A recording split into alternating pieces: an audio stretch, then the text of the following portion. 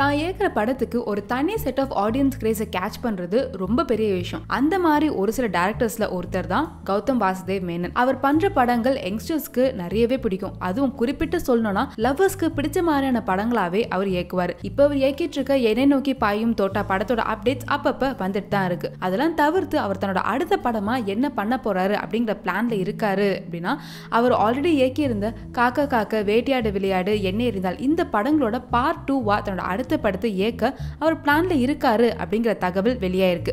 ஆனா இந்த மூணு படங்கள்ல எந்த படத்தோட பார்ட் டூவை இயக்க போறாரு அப்படிங்கிறது இன்னும் தெரியலங்க. ஆனா இந்த மூணு படமே வெளிவந்த டைம்ல மக்கள் கிட்ட என்ன ஒரு பாசிட்டிவ் ரெஸ்பான்ஸ் இருந்துச்சு அப்படிங்கிறது நமக்கே தெரியும்.